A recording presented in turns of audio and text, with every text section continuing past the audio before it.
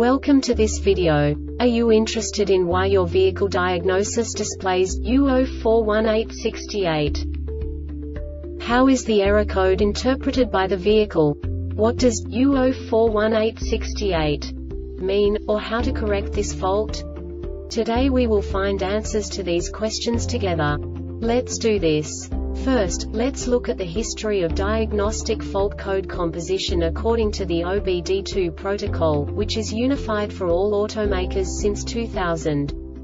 We divide the electric system of automobile into the four basic units. Powertrain, body, chassis, network. This distribution is defined in the first character code. If the second character is expressed as zero, it is a standardized error. In the case of numbers 1, 2, 3 it is a more prestigious expression of the car-specific error. The third character specifies a subset of errors.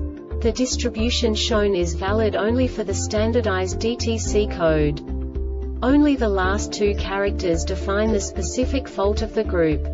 The add-on to the error code serves to specify the status in more detail. For example, a short to the ground. Let's not forget that such a division is valid only if the other character code is expressed by the number 0. Our website airbagreset.sk produces useful videos for you. You do not have to go through the OBD2 protocol anymore to know how to troubleshoot any car breakdown. You will find all the diagnostic codes that can be diagnosed in a Lincoln vehicles. Also many other useful things. The following demonstration will help you look into the world of software for car control units. You unbelievably can move the video a bit further. The error code is split into two bytes consisting of 16 bits. One bit is the basic unit that each computer works with. The bit has two logical states. 0, low level, 1, high level. By combining the first two bits, the basic character of the error code is expressed. The next two bits again determine the second character. The last beat styles of the first byte define the third character of the code.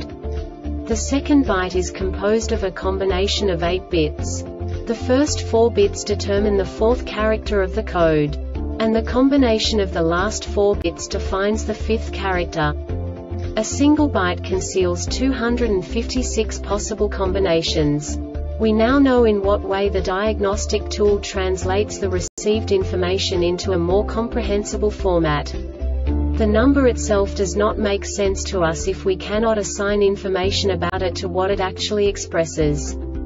So, what does the diagnostic trouble code U041868 interpret specifically Lincoln car manufacturers? The basic definition is Invalid data received from brake system control module event information.